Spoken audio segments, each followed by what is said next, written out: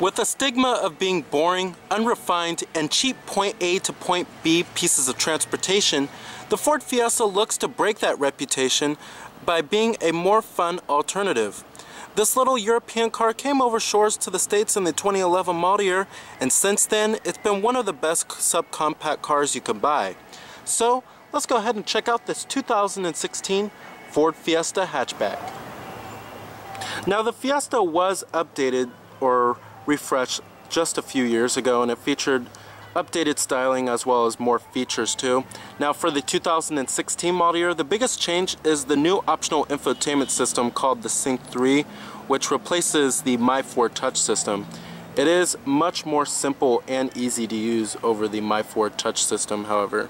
In other news, the SE trim level, like how we have here, is eligible with a black package and a sport body kit too, while the base S now comes standard with remote keyless entry and an anti-theft alarm. Now here goes the key fob design for the vehicle. It's your basic little key fob here. But I wish it, I wish it was switchblade however, but you do have your remote keyless entry, your lock, unlock, your panic alarm, and then to release your trunk too.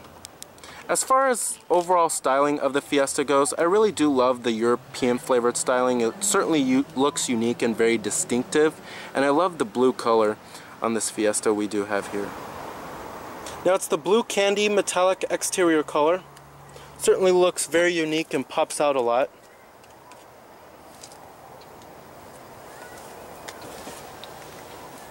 And it does have a black cloth interior.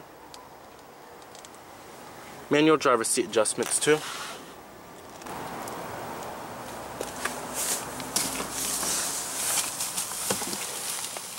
Now stepping inside, the step-in height is fairly low of course. And you're greeted with a pretty nicely trimmed cabin, even for this pretty basic SE trim level. But overall, I do think that the Focus needs a complete redesign now. It's getting a slightly dated.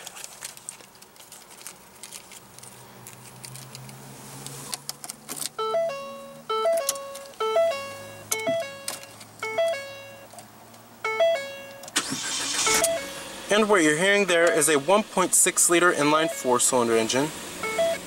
Full leather wrapped steering wheel. Coming to your transmission, you have an optional 6-speed automatic, pretty standard stuff here. We do have a sport mode too, you do have manual shiftability. No rear view camera here, however. Vehicles like the Honda Fit do offer a rear view camera standard. And I'm going to go ahead and turn on the lights, and then you have your hazards right here too. Automatic driver's side window. Let's go ahead and pop up the hood, check out the engine bay. do have a blind spot mirror on the side right here. Side turn signal indicators that are integrated onto the mirrors. 15 inch painted aluminum wheels.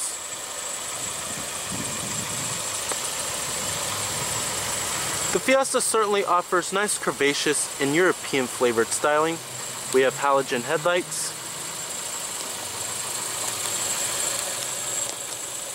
Love the styling on the front end of the Fiesta. Certainly looks very sophisticated and it kind of looks like an Aston Martin. Takes a lot of styling cues off of the Focus as well as the Ford Fusion too. Now under the hood here we have the powertrain that you will pretty much find in all Fiestas. It's a 1.6 liter inline four cylinder that produces 120 horsepower at 6350 RPM and 112 pound-feet of torque at 5000 RPM. It is front wheel drive and it does run on regular unleaded fuel. Your base transmission is going to be a 5-speed manual while this 6-speed automatic is optional. EPA estimates are okay, 27 in the city and 37 on the highway when you get the automatic. And if you go for the 5-speed manual, it goes to 28 in the city and 36 on the highway. For those who want more power out of the Fiesta, you can get the Fiesta ST which offers a 1.6 liter turbocharged 4-cylinder. Now pricing for the Fiesta hatchback model starts at the S model which starts at $14,880. The SE like how we have here starts at $16,110 and then the Titanium starts at $18,830 and then the Sporty ST model starts at $21,460. Now the Fiesta can also be had in a sedan variant like how you see right here and many other vehicles in the subcompact car class have a hatchback and a sedan variant. Now competitors for the Fiesta, you have the vehicles in the subcompact car class. This includes the likes of the Hyundai Accent, Kia Rio, the Nissan Versa, Toyota Yaris, Chevrolet Sonic, and the Honda Fit. Back here we have a rear window wiper with a rear window defroster, rear reflectors too, and a third brake light at the top.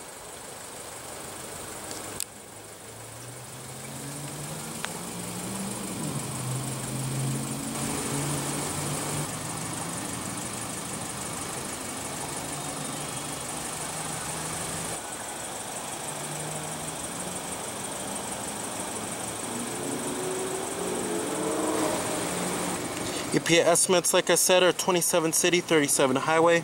Total vehicle price is $17,985. Of course, all of your basic power necessities from your power windows right here, power mirrors, and your power door locks are located up on the dash. And you have a nice soft touch armrest that's wrapped in cloth.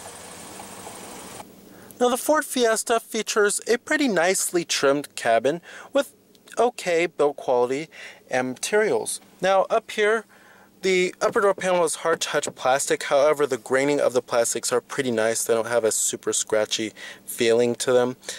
Right here we have your armrest that's wrapped in cloth. Hard touch on the mid door panel too. Um, up here it's a really nice softly padded material which is nice and then it runs throughout the whole entire dashboard. Um, down here hard touch plastic. Um, build quality is pretty good. Not many of the interior trim and pieces creak a whole lot. It's definitely above average for the class. Overall, the Ford Fiesta has a pretty decent cabin, certainly above average. Now, coming to the steering wheel design, I think the steering wheel looks pretty dated at this point. They really do need to update the steering wheel a little bit, um, but it's okay. It gets the job done, you know. We have your steering mounted audio controls, Bluetooth phone controls right here, and your voice recognition. Right here we also do have your set of your cruise control buttons. You also do have your intermittent windshield wipers right there as well. Coming up here we have your manually dimming rearview mirror, map lights, sunglass container too. And then down here we have your AC controls. Pretty simple and easy to use. Big knobs and buttons, fan speeds, your different zones and your temperatures. And then you have your rear window defroster button right there. Down here we also do have a little storage cubby 12 volt power outlet and then you have your auxiliary input and your USB port. Dual cup holders are also right there and then your parking brake. Coming to the center console it's slightly padded. Uh, the center console storage is deep but it's not very wide Now coming to the gauges in the Fiesta, the gauges are pretty nice. Um, I love how they look very unique with the font. But we do have your tachometer right here, and then your fuel gauge, and then your speedometer too. And then right there, it shows you your coolant temperature, and then what gear you're in, and then your odometer. Now as far as visibility goes in the Fiesta, visibility is okay. I like how they have this little window right here that helps a little bit. Uh, outward visibility through the front is okay through the windshield.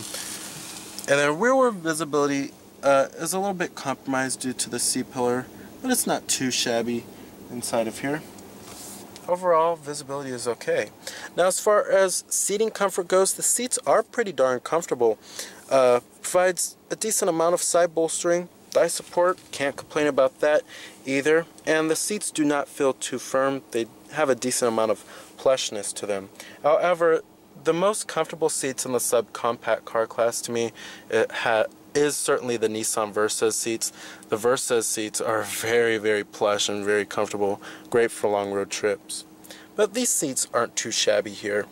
Now, coming to your radio, right there, it's a basic AM FM radio system. Can't expect too much out of a subcompact vehicle. Um, your different media sources includes your auxiliary input and then your USB port with your iPod integration too. Um, this is not the most simple or easy to use radio interface in the business. I have seen way more simpler systems. Um, the controls on the dash right here looks very complicated and very busy looking and some people don't like that. Um, you also do have your Bluetooth phone connectivity. You can hook up your Bluetooth phone, have your contacts, of course. And then there's your sound settings from your bass, middle, treble, fade, balance. And then many different settings you could change on the menu too. And then right here is also your volume knob. You have your audio settings, vehicle settings, clock settings, display settings. And then right here is your integrated dial pad, which kind of reminds me of Mercedes-Benz, like how they used to do. Then right here you also do have your power door lock switch, like I said, it's located up on the dash. But overall, fairly basic radio system. It also shows you your digital clock in the upper right hand corner too at all times. Now the best part about the Fiesta is certainly the way it drives. And the way it drives, it's very precise in its handling and you really feel for where this vehicle is trying to go. The Fiesta is also a very nimble vehicle too. And it's certainly a joy to drive, especially when compared to other vehicles in the class that have very numb and kind of plain steering, like the Toyota Yaris as well as the Nissan Versa. Now also the 1.6 liter four cylinder provides enough power. My biggest complaint is probably the six speed automatic transmission kind of hesitates to shift sometimes. Um, but other than that, the 1.6 liter four cylinder powertrain provides enough passing power and the fuel efficiency can be a little bit better however. I would have loved to see the Fiesta hit the 40 mile per gallon mark but it's not too bad. But for those who want more power out of the Fiesta and want the best driver engagement and the best feedback, then you definitely want to go with the 1.6 liter four cylinder turbo that's found in the Fiesta ST. The Fiesta ST is certainly one of the hot, best hot hatches in its class. But overall, driving the Fiesta is certainly the best part about the vehicle. Now, one of my biggest complaints about this interior is certainly its lack of interior space as well as not much storage space inside of here either. And it kind of feels like a typical subcompact vehicle of being very small and a lot of vehicles in this segment are getting bigger and bigger like the Nissan Versa and the Honda Fit. Alright, and I'm going to go ahead and shut down the vehicle. Let's go ahead and check out the rest of the car. Build quality and materials do follow through in the rear. Still hard touch plastic everywhere. But that's what you kind of expect in this segment. Now sitting back here, Fiesta is one of the smallest vehicles in the class. If you're looking for the best space for the rear occupants, then you definitely want to go with the Nissan Versa as well as the Honda Fit. It's kind of cramped back here. And I don't even have the driving position to where mine would be at. I'm about six foot. Um, you have a single cup holder. I'm actually pretty surprised about these dual map pockets right here. And then you also do have a 12 volt power outlet. As far as the seats themselves go, they're actually fairly comfortable, however. But not much leg room and the headroom can be quite tight back here too. And you have your map lights right there. Alright. Now these rear seats can be folded down 60-40 split to maximize cargo space. But the cargo space for the hatchback model isn't too shabby. But then again, if you're looking for the best, Go with the Nissan Versa Note or the Honda Fit.